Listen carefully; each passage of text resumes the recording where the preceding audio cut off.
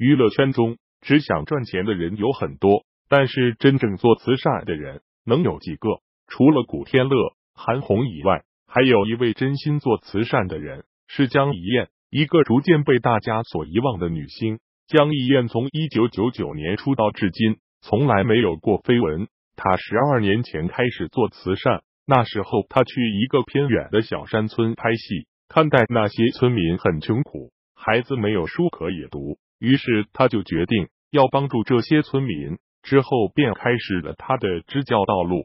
在刚做出决定的时候，很多人都不看好江一燕，说她这是为了包装自己。但事实证明。江一燕不是在作秀，她是用真心来帮助这些村民。她每年都会花几个月的时间去支教，并将过程拍下来，用来感染更多的人。她希望能够有更多的人加入她的支教之路。她在支教的过程中感受到的更多是幸福，而不是辛苦。这条路一走就是十几年。崔永元曾经在一档节目中公开表示，江一燕是他在娱乐圈中。唯一认可的女星，还大赞她是最美女星。